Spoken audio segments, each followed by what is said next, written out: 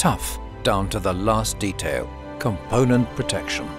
For even greater resilience and robustness when tackling extreme tasks, the Arocs is equipped with additional special protective features.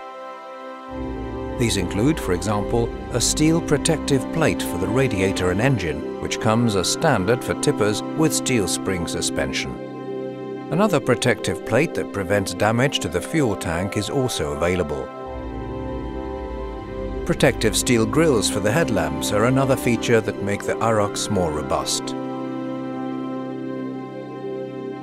The three-part bumper with steel corners and the flexibly mounted pivoting step also offer increased sturdiness and resilience. Another example of the wide-ranging adaptability of the Arocs to different types of use, the road construction package, available as an optional extra.